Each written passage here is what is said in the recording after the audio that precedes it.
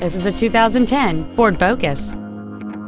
It has a 2.0-liter four-cylinder engine and a four-speed automatic transmission. Its top features include a rear split bench seat, a rear window defroster, keyless entry, satellite radio, aluminum wheels, the secure lock anti-theft system, a passenger side vanity mirror, a low tire pressure indicator, 12 volt power outlets, and this vehicle has fewer than 38,000 miles on the odometer.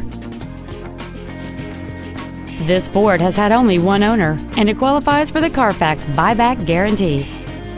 Call or visit us right now and arrange your test drive today.